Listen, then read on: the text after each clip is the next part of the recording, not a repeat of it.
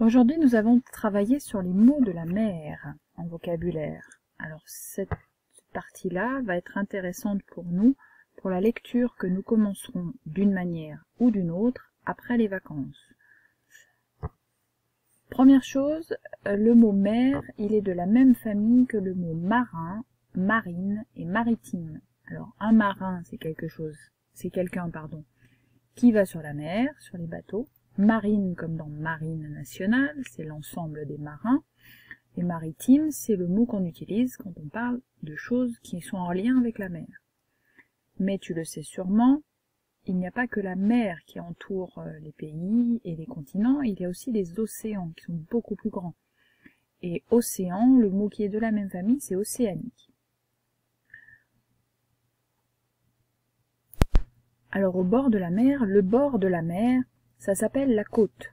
La partie en terre qui est juste à côté de la mer, c'est la côte.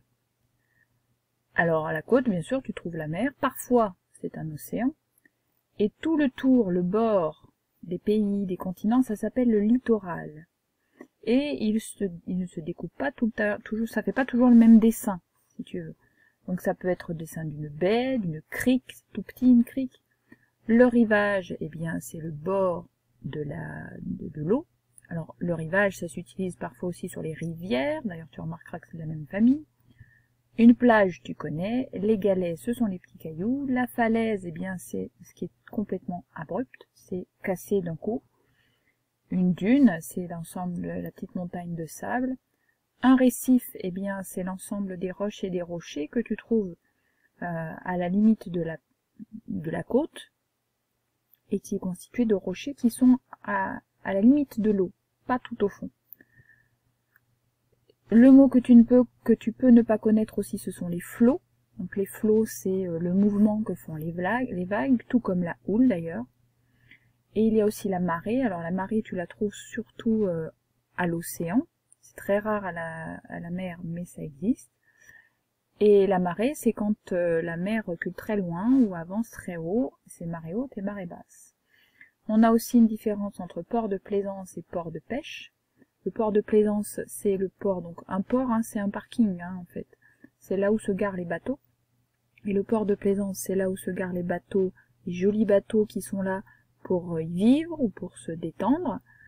Quant au port de pêche, c'est le parking en quelque sorte, des bateaux de travail qui sortent en mer pour pêcher, pour que tu aies après un peu de poisson dans ton assiette. Et tous les animaux marins. Par contre, on a plusieurs modes de déplacement euh, sur la mer. Alors tu vois ici tous les noms des bateaux, je vais les commenter aussi avec toi. Donc les bateaux, on appelle ça aussi des navires. Un paquebot, euh, le paquebot c'est là où on transporte les gens qui veulent faire des croisières. D'accord? C'est du loisir. Une barque, c'est tout petit, on retrouve aussi sur les lacs et les rivières. On a besoin de rames. Le chalutier, quant à lui, c'est un énorme bateau de pêche. Un catamaran, c'est un navire de course. Le voilier, bien, c'est un bateau qui se déplace essentiellement avec des voiles. Les voiliers modernes ont aussi un moteur, au cas où. Un yacht, eh bien, ce sont les énormes bateaux qu'on trouve dans les ports de plaisance, qui servent surtout à se détendre et de loisir. Un cargo, le cargo, c'est celui qui sert à... Enfin, c'est un bateau de marchandises qui transporte les marchandises. Le pétrolier, comme son nom l'indique, transporte sur la mer du pétrole. Le ferry, eh bien, c'est en, quelque sorte un bus sur la mer, c'est-à-dire qu'il fait toujours le même trajet aller-retour, et lui sert à transporter autant les passagers que les véhicules. Donc il peut transporter des vélos, des motos, les camions, les voitures. Et un aéroglisseur, c'est un bateau qui est euh, monté sur une énorme bouée qui se gonfle et qui se dégonfle, et avec son moteur qui est une énorme hélice, eh bien il se déplace très vite. La planche à voile et le surf, je ne pense pas que j'ai besoin de te l'expliquer.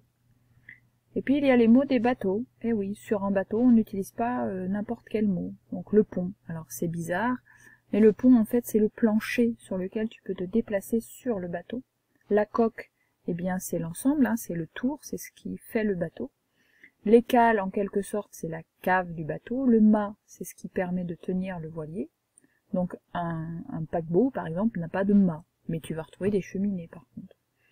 Le moteur pour se déplacer, les voiles on a déjà dit. L'ancre. Alors l'encre, celle-ci s'écrit avec un A. Ce n'est pas l'encre qui te sert à écrire, ce n'est pas l'encre qui sert à faire des dessins. C'est un énorme crochet que le bateau lance tout au fond de l'eau pour qu'il s'accroche au fond de l'eau et comme ça le bateau peut s'arrêter et être sûr de ne pas bouger quand il est en pleine mer. Quant aux amarres, ce sont des énormes cordes que tu accroches à un gros plot qui se trouve sur le pont et comme ça le bateau peut s'accrocher. Donc amarrer un bateau, c'est l'accrocher. Le gouvernail, c'est ce qui sert à gouverner le bateau, donc à le diriger. Et c'est sous l'eau. Et euh, une bouée, bah, c'est ce qu'on jette au cas où. Bâbord et tribord, c'est une manière sur un bateau de dire à gauche et à droite. À bâbord, à tribord. Et ça, ce sont tous les mots qu'on peut utiliser quand on est sur un bateau. Naviguer, amarrer, je te l'ai dit, échouer, c'est quand on cogne contre de la terre en dessous et on peut plus bouger. Chavirer, ben, du coup, tu tombes sur on tombe sur le côté. Larguer les amarres, c'est quand on détache les amarres. Et être au mouillage, eh bien, c'est quand on est arrêté et garé au port. Ensuite, tu vois ici euh, les animaux marins. Donc là, je te laisserai bien les lire. Euh, ainsi que les oiseaux. N'hésite pas à aller demander des images euh, aux adultes qui s'occupent de toi. Quant aux hommes, eh bien tu as tous les hommes que tu peux trouver sur un bateau, à part un plagiste. Alors un plagiste, c'est celui qui installe les transats, les serviettes, les machins, tout ça sur une plage. Ça n'existe pas sur toutes les plages, puisque c'est sur des plages payantes. Et un pirate, eh bien les pirates, ça existe encore. Alors pas avec des épées, des câbles, des machins, non, non. Mais ça existe encore. Ben, on en rencontre pas partout et pas souvent. Passons maintenant aux exercices. Voici la feuille que je t'aurais donnée si nous étions en classe, et je ne vais pas te demander de l'imprimer, même si je vais te l'envoyer par mail. regarde cette photo, mets-la en pause, et essaye de faire l'exercice à l'oral. Alors tous les mots qui sont écrits ici, attention, ne vont pas tous sur cette image, puisqu'il y a une autre image après. Mets cette vidéo en pause et essaye de faire ce travail-là. Voici maintenant l'ensemble des deux images. Donc tu vois la côte, c'est ce que je te disais un peu avant. La côte elle est là, hein. elle peut être comme ça, et elle peut aussi être comme ça. Alors ça ce sont des morceaux fabriqués. N'hésite pas à, à, mettre la vidéo en pause et regarder d'un petit peu plus près. Maintenant nous allons corriger. Je te montre la correction. Donc voici la côte, d'accord? Alors ici aussi c'est un bout de la côte, mais ce qui est intéressant surtout c'est que c'était un port. On aurait pu même rajouter port de plaisance, puisque tu vois qu'il n'y a pas de bateau de pêche ici, il n'y a pas de filet, il n'y a pas, ce sont toujours des beaux bateaux blancs. Commençons par le morceau sur la partie sur la côte. Donc tu vois ici en haut le phare, qui sert à avertir les bateaux qu'ils arrivent vers la côte, donc ça fait de la lumière. Les bateaux l'aperçoivent au loin et savent que la côte n'est pas très loin, qu'ils ne doivent pas s'en approcher, sinon ils risquent justement de s'échouer. Donc en dessous, tu vois ici une dune de sable, ici la plage, bien entendu, et la fameuse falaise, donc tu vois c'est très abrupt, hein, ici. Et on voit euh, un voilier, on en voit même un autre ici, c'est le bateau à voile, et ici tu as les vagues qui font une houle, donc c'est le mouvement qu'ils font. Quant au port de plaisance, eh bien tu as la flèche, les deux flèches qui indiquent deux pontons. Ici, c'est un yacht, alors ça se prononce pas yacht ou yacht, ça se prononce yacht, d'accord? Et ici, c'était la mer, bien entendu. Voici l'exercice suivant. Alors, la manière dont on va le faire, dont tu vas le faire, c'est regarder chaque mot et te demander si c'est un bateau, un oiseau ou un, un animal de la mer n'hésite pas à euh, te servir de la feuille qu'on a lue au tout début de cette vidéo et que tu as reçue par ailleurs par mail, d'accord? N'hésite pas à la regarder, à faire des allées, des va-et-vient entre ces deux endroits.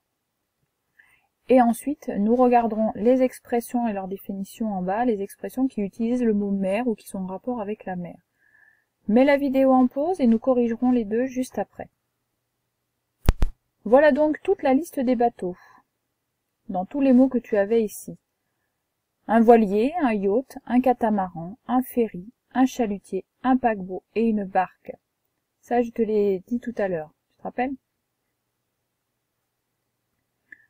Le catamaran, souvent, fait les courses avec, donc il a une grande coque et puis parfois il a deux petites coques sur les côtés. Voilà. Ensuite, dans les oiseaux, il y a un albatros et une mouette. Alors, ce sont deux animaux qui se ressemblent beaucoup. Hein. L'albatros, il ressemble à la mouette.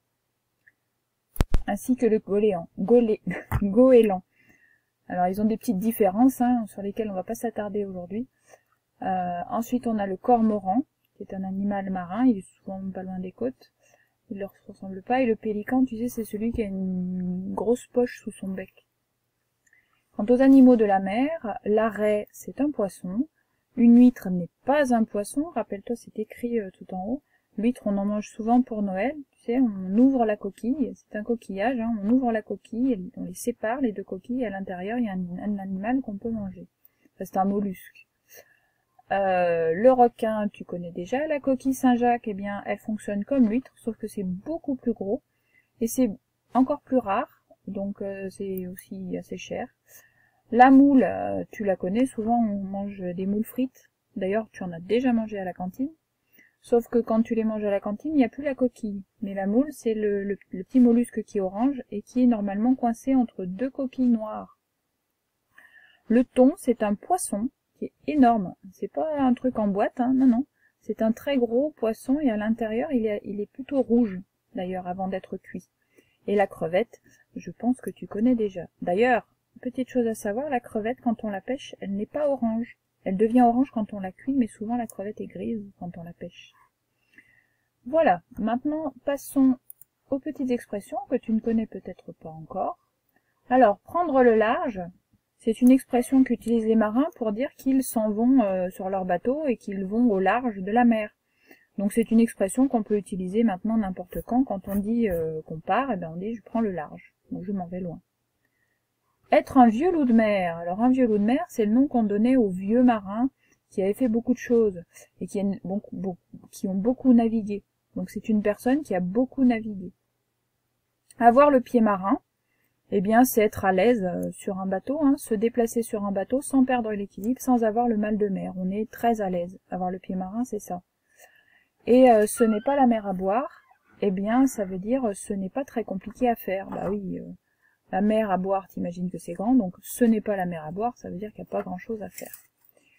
Voilà pour les mots de la mer. Le travail est terminé, ainsi que cette vidéo.